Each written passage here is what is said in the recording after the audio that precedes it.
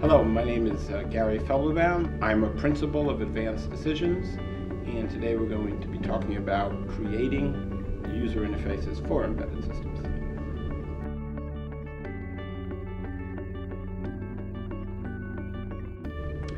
When one is thinking of creating a user interface for any embedded system, there are many different factors to consider. You don't have a lot of flexibility in large screens data input in terms of keyboards or mice, so you have to think differently.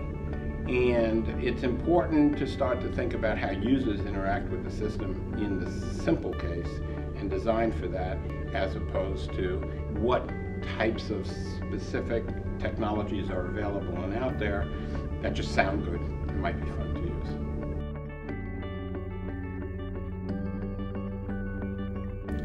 We're fortunate because technology is just moving forward so fast that there are several alternatives out there that we can choose from in designing user interfaces. Two things that I've seen fairly recently, one has a little more uh, history to it, is making appliance-based embedded systems that have their own web browser so that what you're really designing is actually a web experience for someone with a PC or a smartphone to gain access to the appliance where the user can configure and monitor the performance of the system. We see this every day in our routers, our Cisco routers, or even a printer when you want to configure it. Another thing I've seen in much more sophisticated systems is the use of off-the-shelf tablets smart devices that are available where you can actually start to leverage the technology and just focus on the application, make a really good user experience with products that people are used to.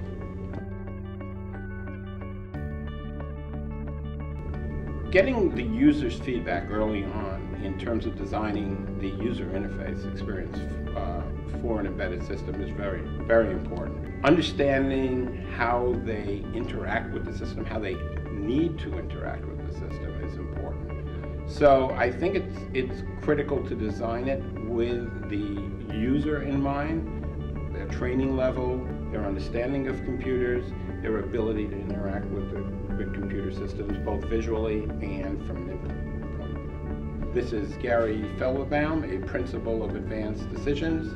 Thank you for watching.